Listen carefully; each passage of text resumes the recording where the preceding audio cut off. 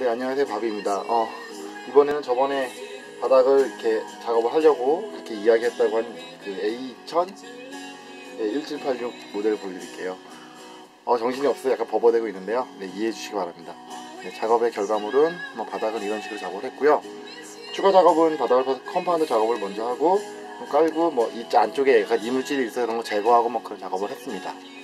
어, 이 녀석하고 다른 이 녀석은 다른 글러브하고 다르게 이외 위쪽이 이렇게 plain하죠? 되게 막히는 게 없이 기본적인 일반적인 글럽들은 이렇게 여기 보강돼서 있는데 그렇지 않아 가지고 이렇게 요이이 이, 이 부분이 하나로 돼 있어요 이렇게.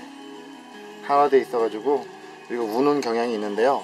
뭐 그거는 이걸 다 열어도 어떻게 할 수가 없더라고요. 가죽이 남는 부분이라 어떻게 할 수가 없었습니다. 그리고 나머지 부분들 뭐 안쪽, 안쪽에 우른 부분이나 이쪽 이쪽 손바닥에 우른 부분들은 어느 정도 잘 해결이 되었고요. 그 다음에 음, 이글 쓰신 분이 용진님인데 그 두 칸 반이나 두 칸을 선호하셔서요.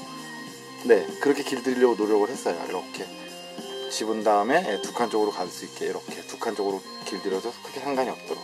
네 보통 이렇게 해도 되고 두 칸 쪽으로 되는데 만약에 용진님께서 두 칸으로 사용하고 싶으시면 얘를 이렇게 이렇게 눌러서 살짝 살짝 동그랗게 말아줘가지고 엄지가 자연스럽게 두 칸으로 가게 하시면 돼요. 네.